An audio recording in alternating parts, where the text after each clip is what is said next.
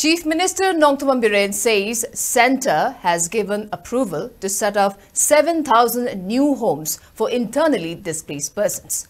Chief Minister N. Biren made the statement during a press conference which was held at Chief Minister's Secretariat Hall in Babupara today. Speaking further, Chief Minister Biren said, with focus on rehabilitation and resettlement of internally displaced persons, government has approved funds for construction of over 700 houses for those displaced persons who can return to their original villages. Some of the people have even shifted to their original homes. The Chief Minister also added that efforts have been made to shift internally displaced persons from various relief camps set up at schools and colleges to proper shelter. Centre has also given approval to build 7,000 homes in this regard.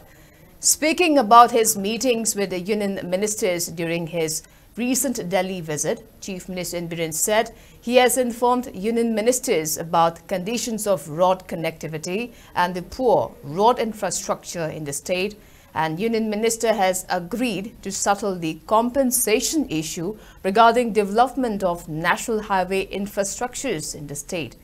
The Chief Minister further added that Union Minister Nitin Gadkari has also given approval to construct cement concrete road in major routes of both hills and valley areas of Manipur.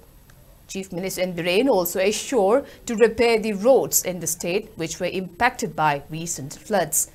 Speaking further, Chief Minister. Biren announced that the football stadium project worth rupees 220 crore has been approved. He also announced a special relief package ahead of Ningol Chakoba and Diwali with rupees 1000 to be given to each internally displaced person in relief camps. Addressing concerns over delayed payments, Chief Minister N. Biren assured that salaries and pensions for government employees will be released by October 31st. Ningol Chakoba and very important festival of Manipur and India. Just we are going to provide 1,000 rupees, 1,000 per head to the displaced persons. As before, we have already distributed four times. Well, as five times, we are going to distribute 1,000 is to be is in met. Around it will cost six, six, seven crores. And above that, we are also going to release the pay and the allowance of the government employees, including pencils, before 31st this October so that they can be used in the Diwali and the Ningol Chakoba. So government is doing our best for the welfare of the peoples. Honorable Minister Gadkari has sanctioned around 1,000 crores for development of the lap out highway places in the state of Manipur.